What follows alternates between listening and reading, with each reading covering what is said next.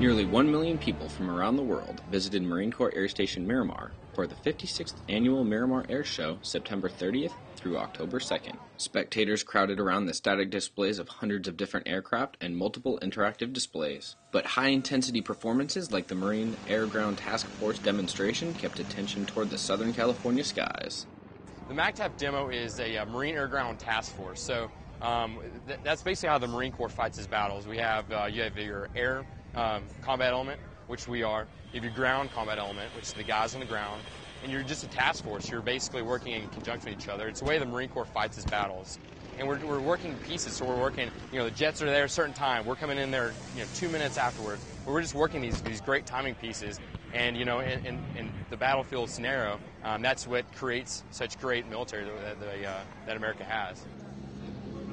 And in true Marine Corps fashion, things ended with a bang. For Marine Corps Air Station Miramar, I'm Sergeant W. Zach Griffith.